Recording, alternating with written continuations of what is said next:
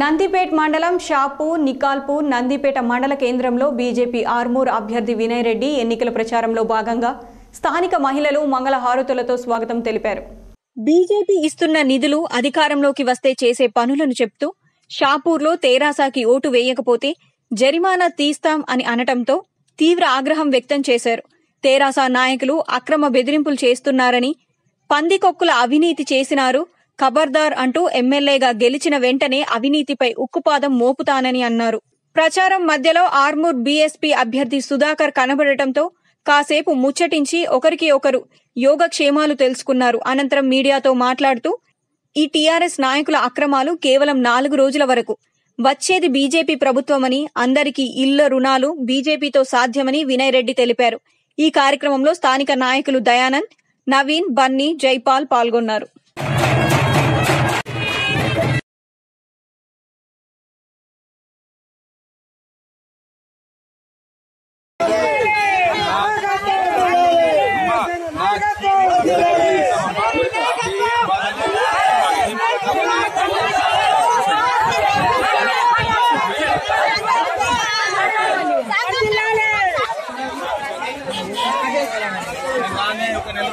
भारत माता की भारत माता की भारत माता యువజన నాయకత్వం జై జై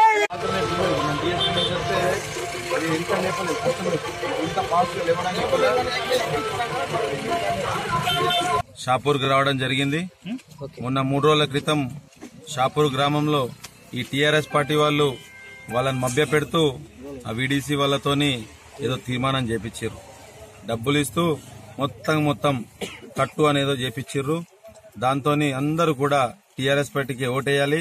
లేకపోతే కాంగ్రెస్ కానీ బీజేపీకి కానీ తిరిగితే మీకు ఐదు లక్షల పెనాల్టీ అట. ఏందో ఎక్కడ ఏ ఎక్కడున్నాం మనం? ఏ ఏ జమానాలు ఉన్నాం? ఇటువంటి పరిస్థితి ఎందుకు మీకు?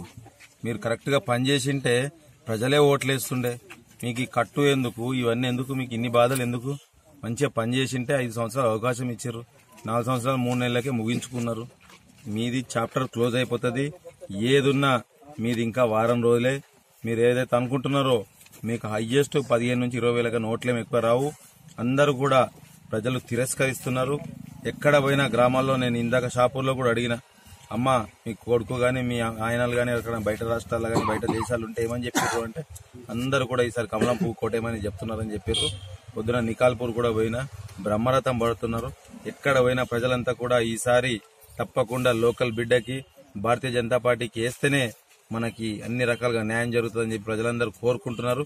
నిజంగా కూడా అంత దమ్ముతో ఎందుకు చెప్తున్నా అంటే కేంద్రంలో ఉంది భారతీయ జనతా పార్టీ. మనం చేసేటివి చాలా బ్రహ్మాండంగా ఉన్నాయి.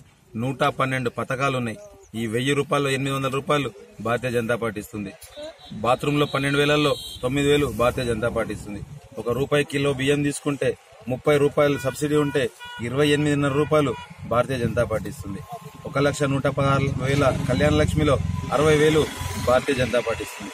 ఇట్లా చూస్తే ప్రతి దాంట్లో కూడా మెజారిటీ నిధులు కేంద్రం నుంచి వచ్చినాయి. ఒక గ్రామానికి కోటి ముప్పై లక్షల నిధులు వస్తే కోటి ముప్పై కూడా కేంద్రం నుంచి వచ్చినాయి.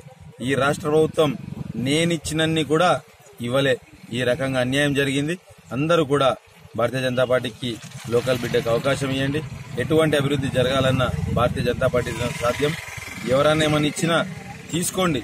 అవన్నీ పైసలు మన పైసలే మన దగ్గర దొబ్బిన పైసలే పంది కుక్కుల్లాగా దొబ్బినరు అందరూ కూడా అవి తీసుకొని రాత్రి ఇచ్చేటి కూడా రాత్రి తీసుకోరి పొద్దున ఇచ్చేటి పొద్దున తీసుకోరి కానీ ఓటేసేటప్పుడు మనం ఏదైతే మన బిడ్డని ఒక ఇంటికి ఇస్తే ఏ రకంగా అయితే ఆలోచిస్తామో అంత ఆలోచించాల్సిన అవకాశం ఉంది. ఎందుకంటే మనకి చాలా రకాలుగా మోసం చేస్తున్నారు. అభివృద్ధి ఎక్కడ కూడా జరగట్లే. అభివృద్ధి జరగాలన్నా అన్ని కూడా భారతీయ జనతా పార్టీతోనే అవుతుంది అందుకోసం ఇన్నిసార్లు ఎందుకు చెప్తున్నా అంటే అమూల్యమైన ఓటుని ఎవడికో ఒకడికి వేద్దాంలే అనకండి.